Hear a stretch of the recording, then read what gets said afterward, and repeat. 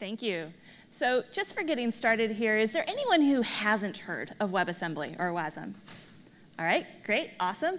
Uh, is there anyone here who's actually had a reason to use WebAssembly in a production app? Okay, all right, so we're all about on the same page. I'd like to invite you back in a journey of time to the year 2017. Like most of you, I had heard about WebAssembly, but beyond some surface level stuff, I didn't actually know very much about it. I read this headline and I thought, huh, well, I mean, I, I guess if WebAssembly really does kill JavaScript, then I'll figure that stuff out. But it sure seems like people have wanted JavaScript to die for a while now, and we're all still here. um, and besides, what does a typical JS dev need WASM for anyway? Well, little did I know, my experience was about to take a turn for the atypical. I work for a consulting firm based here in Seattle called GenUI. We're in Fremont, and we do a lot of different kinds of work, but I think our dev manager described it best when he said, Our web expertise is really in doing stuff that's a little weird. Last year, we had one of those weird client requests. And I'd like to tell you the story about how and why we built a screen recording and video editing app for Chrome OS that runs entirely client side. Our requirements were as follows.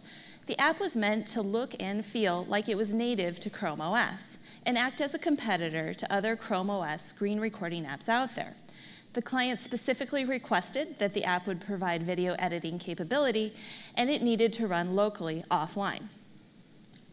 There are a couple of ways to develop for Chrome OS, and we decided to use Chrome packaged apps. On Chrome OS, packaged apps are essentially just web apps that are given some additional hardware-related APIs.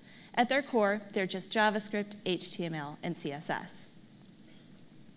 As we started to investigate how we wanted to implement the project, it was actually surprised to discover just how much it's possible to do with media in native JavaScript.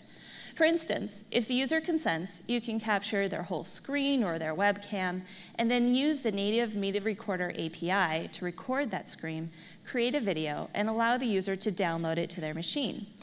And that's possible in any web browser, any modern web browser. Uh, there's nothing special about Chromebook that lets you do it. So if all we needed was a screen recording app, then we'd be set with those tools. But the client had requested some video editing capabilities. And as a result, we started to get into a realm of things that are technically possible in JavaScript, but just not a great idea for a variety of reasons. For instance, if you wanted to create a watermark, you can create a media stream that collects data from a canvas element. You can then draw your watermark onto every frame of that water canvas element and then merge it into the stream from your screen recording but unsurprisingly, it's too memory intensive. So the resulting videos were kind of like watching a very badly dubbed foreign film. Uh, you've got all the pieces there, but they don't line up. Another of the video editing features we wanted to implement was trimming or shortening the video. It turns out you can actually do that in plain JavaScript, uh, so long as you only want to trim the end of the video. If you want to trim the beginning, you're out of luck, uh, at least in Chrome. And that brings us to functionality that simply isn't possible uh, in native JavaScript. Once you create that WebM file from your media recorder, you're done. There's no way to add a watermark or a filter or something else after the fact. It's also not possible to re-encode the video. Uh, the Media Recorder API will give you a WebM. So if you wanted a, a GIF or an MP4, uh, then you can't do it with native functionality. At this point, we went back to the client and we recommended a server-side only solution. And there were two big reasons for this. The first is that video editing is a memory-intensive process, and Chromebooks are not powerful machines by design. They are meant to do most of their work from the cloud. And the second is that really client-side video editing pushes the limit of what's even possible on the web today. We had two people working on this project. We did not have an infinite budget, and uh, we wanted to deliver something reasonable.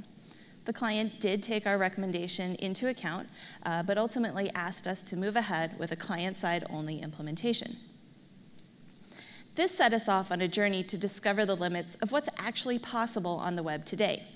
Since we had already determined that video editing isn't possible in native JavaScript, we needed to find a way to run code that is not native JavaScript in the browser. And WebAssembly is by no means the first tool that allows you to do this.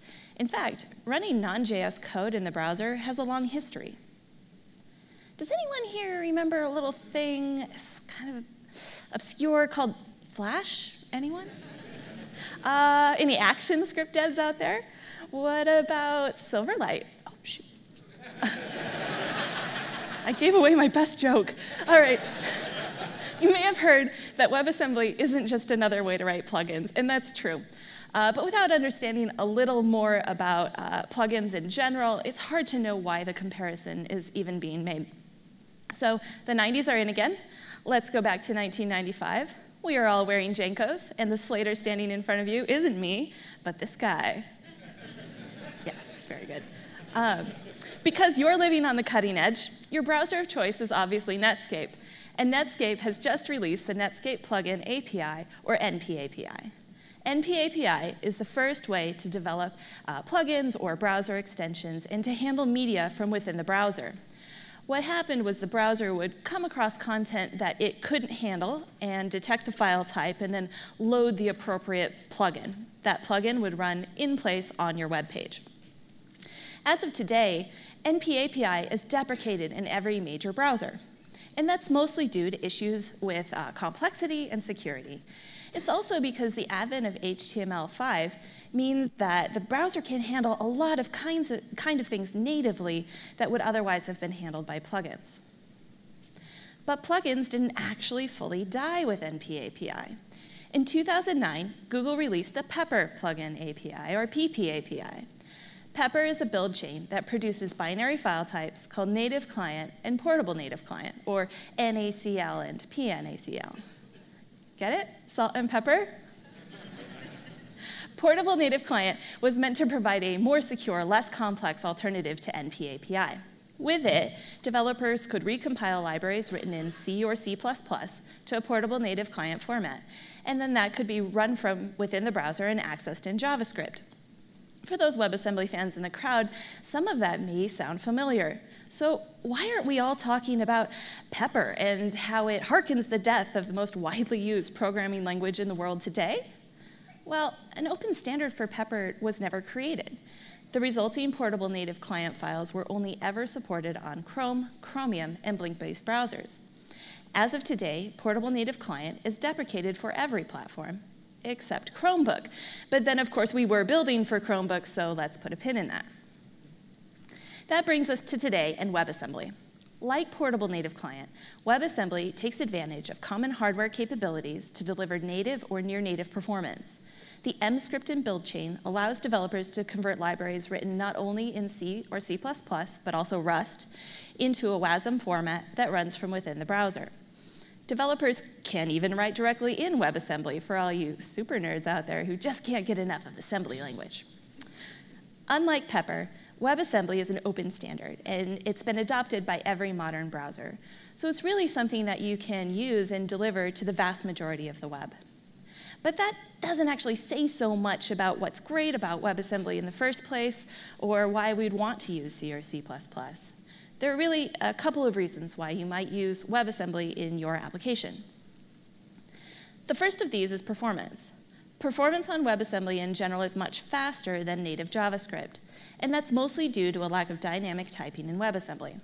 Of course, if you're interested, there are many, many other talks that you can look into on the subject, and I strongly recommend Lin Clark's cartoon introduction to WebAssembly, or for that matter, any of Lin's talks.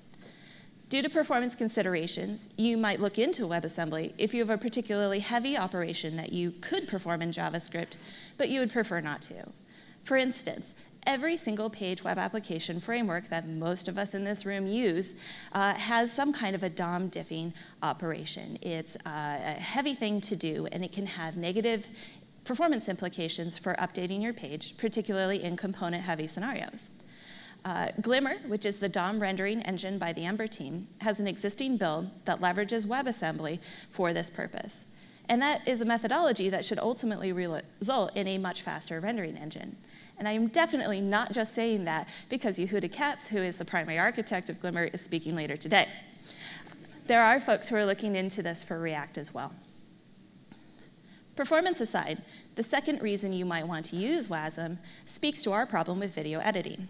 As we discussed earlier, you can't really edit video in JavaScript, but you absolutely can edit video in C++. In fact, you can do several things in C++ or Rust that are outside the current capabilities of modern browsers.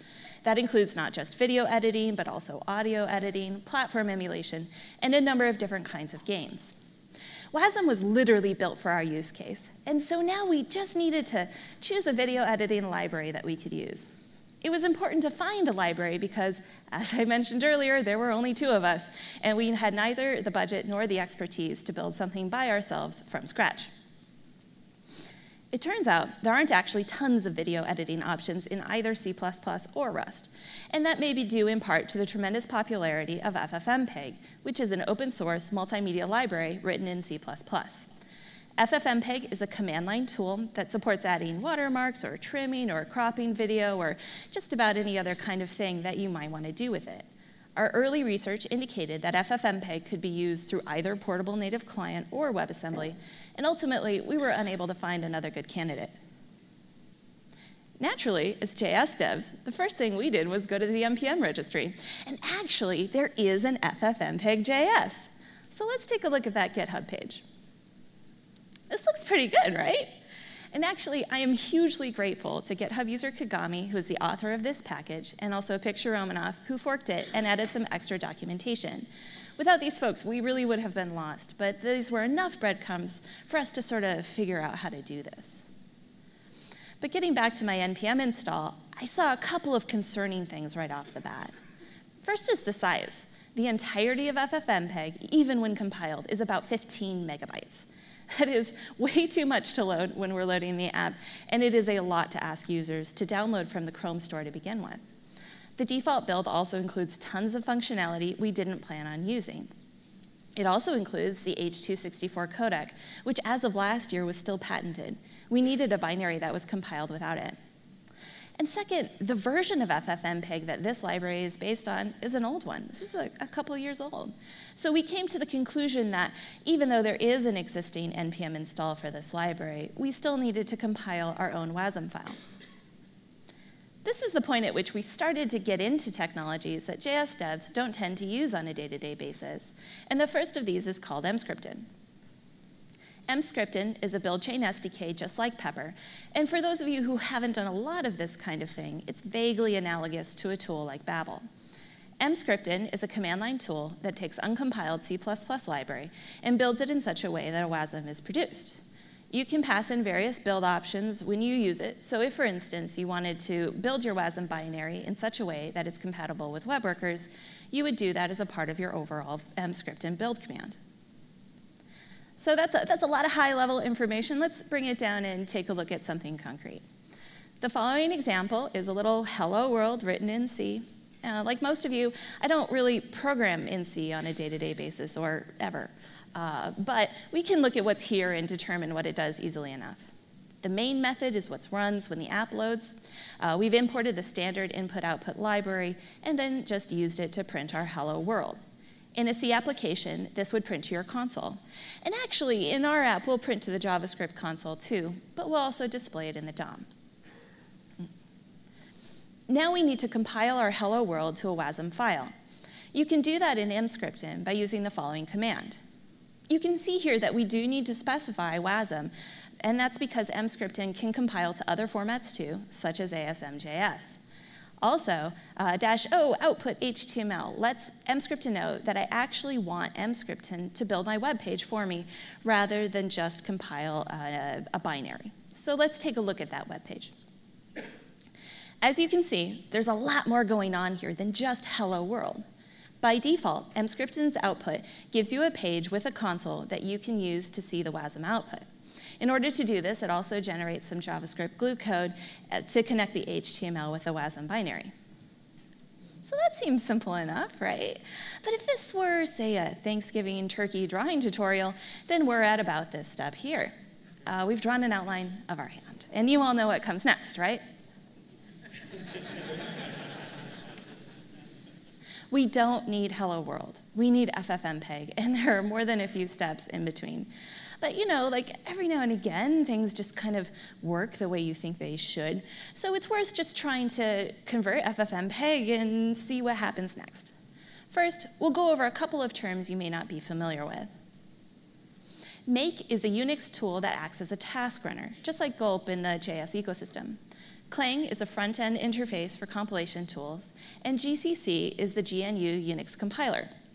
These all work together to create executables for many C or C++ libraries, including FFmpeg. To get started, we need to pull FFmpeg down from GitHub. It's open source, so everything's there. Uh, this is the root folder of the FFmpeg library, what we need to do is use the project's makefile and have all of those constructions and substitute uh, Clang and GCC with our own Emscripten build chain. Piece of cake, right? In case you really did think it was cake, please allow me to assure you that it is not. to help you out, Emscripten has actually built their own tool that comes with their build chain and to help you substitute Emscripten for GCC and Clang in C projects. It's called emconfigure. So first, we call emconfigure configure, and that will substitute Emscripten for GCC and Clang. Next, we'll run emmake make, and that should use our Emscripten build chain for actually building the library into LLVM format bitcode. Assuming everything has gone well, this is the point at which we can run a command that's similar to our hello world command from earlier. Uh, but of course, everything has not gone well after about 20 minutes of compilation, emmake make has thrown an error, and it appears to generate from deep within the heart of this massive library. Anyone who's struggled to get their builds to transpile correctly using Webpack or Babel knows the pain that can accompany production builds, particularly as they become more complex. Building a project in C really is no different, and compiling that project into a format for which it was never intended adds an even greater degree of complexity. When we're looking at something like our hello world.c from earlier, it seems reasonable to debug the compilation process, even though we're not actually C devs. It did not seem reasonable to debug this giant makefile and delve into the heart of a legacy media framework. So let's make a long story short. emconfigure makes a number of assumptions about your C-based build environment that may or may not be true. For this particular makefile, it was necessary to go in and replace every reference to the existing build chain with Emscripten. Second, Emscripten can't use anything that uses ASM, not ASM.js, but just ASM. And that's used in many C libraries to provide compiler instructions to GCC. Since we're not actually building with GCC, we need to pass the option to build FFmpeg without ASM. Finally, Emscripten won't actually convert every possible combination of things that can be written in C. We had to patch FFmpeg in a couple of places just to get the conversion to work at all. In the end, however, we did prevail, so let's take a look at a demo. Here, we're looking at a video that has been created in native JavaScript through a screen recording of a YouTube clip. Our media recorder has returned a blob that we can convert to a file and then save to the user's local machine. But you'll notice that we can't seek through this video, and that's not a great user experience. This is due to a Chrome-specific bug where their media recorder doesn't create keyframes as it records. Therefore, the kind of file that's created doesn't know important things about itself, like how long it is. Next, you'll recall that the client wanted to add trim functionality to our app. And that makes total sense from a user's perspective. We've all started screen recordings where we forgot to set up our screen and needed to trim out the first little bit. This is where FFmpeg comes in handy. When we rub our .webm video through FFmpeg, it'll add those missing keyframes by default. We'll also ask FFmpeg to trim our video to its desired length. When we're sending it to WebAssembly, it looks a little like this. I've compiled my FFmpeg build so that it works with web workers. And then I'll create a new web worker I will listen to make sure that worker is uh, ready, and once everything is loaded, I'll post a message that contains all the information that FFmpeg needs to kick off a trim operation. Uh, we can see that the type of thing that I want to run is called run, and that's the default or main method in FFmpeg. And I've passed in some data, which is actually as a uh, uh, array buffer. Uh, finally, I pass in the same arguments that I would pass in if I were using FFmpeg from the command line. So we've got a, a dash SS, that's where you're starting your video, dash T, that's how long your video will be, and then dash C copy just means we want to use the existing codec. Let's see what that looks like when it's applied to our video. All right, so I've kicked off the FFmpeg process by default in the background, and we can see that before too long, we get a little video. It's obviously different than it was before. It's only two seconds long. So that being said, there are some important caveats for using this technology. The last video editing feature requested by our client was to provide crop, and that's in case the user wants to only display a portion of what they've created in their video. Uh, and you can see we've, we've kicked off our operation. We're getting lots of logging output from FFmpeg. That's great. We know that something is happening. Uh, but you know, like that, that minute's only, that video is only a minute long, uh, and we're still watching it convert. So we obviously can't put that in front of a user. Uh, what's up? The other operations were really fast. And I told you earlier that performance in WebAssembly is supposed to be much better, right? Well, there are two things happening here that cause performance issues. And one is just that re-encoding takes a little more time than costing, copying the existing codec. This operation would be a little slower from the command line as well, but not by a factor of about a thousand, which is what we have here. It turns out that when Emscripten performs its conversion, there are a few patterns in C++ that will convert, but have tremendously negative performance implications. For instance, code that relies on x86 alignment behavior, or code that makes use of setjump to save the execution context. And yes, I had to look that stuff up. So in theory, could we address these performance issues and patch them in the same way we patched the code that was causing conversion problems? Or maybe we could add in WebAssembly-specific uh, compilation optimizations to compensate for compiling without ASM. The truth is, I don't really know. We did not have the budget to become all-knowing video encoding, WASM converting masters, and who does, really? It's also worth mentioning that when WebAssembly shipped to all major browsers, it shipped as an MVP. There's a ton of functionality coming down the pipeline that might help to support some of the issues we had with FFmpeg. One of these is multi-threaded support, which would almost certainly make the re-encoding process faster. WASM is also looking to support garbage collection, which will open the door to converting languages well beyond just C++ and Rust. Ultimately, since we were on the Chromebook platform, we took a look at using the Pepper build chain in Portable Native Client. An FFmpeg conversion process is already well defined there, and the result is quite a bit faster than our WebAssembly binary. Although, perhaps unsurprisingly, the more performance-heavy conversions still take some time and still produce an unacceptable user experience on Chromebooks due to their lightweight processors. So, is this a story about why you shouldn't use WebAssembly? Not at all. We learned a lot, and I wanted to share those takeaways with you. First, FFmpeg was almost certainly the wrong library to start learning about WebAssembly and C++ in the first place. There are several existing WASM ports for popular C++ libraries, and you can find them on GitHub. Next, if you're evaluating a new C++ library that you think you'd like to use, then there are some well-known patterns you can check for to give you a good idea about whether you should proceed. Portability guidelines and API limitations can be found on the Emscripten website. And this is a case where it's a good idea to tap someone with some C++ expertise to help you determine whether your library of choice contains those patterns and how difficult it might be to patch them. Finally, the Rust language was specifically designed with the web in mind, and it looks to support WASM as a first-class compilation target. If the functionality you're looking for exists in both C++ and Rust, it's probably worthwhile to start with Rust. WebAssembly is an exciting new tool that opens a new world of functionality and performance, and it's helping to pave the way to using the browser as a true application platform. But for the average JS dev, converting functionality into WebAssembly is still a pretty big ask. It's tremendously helpful to have access to expertise in both the source code getting converted as well as the intended use of that functionality. As WASM becomes more mainstream, I expect to see better tooling, more libraries, and simpler processes become more prevalent. In the meantime, we may all be consuming WebAssembly through frameworks long before we ever have a reason to create anything ourselves. Thank you.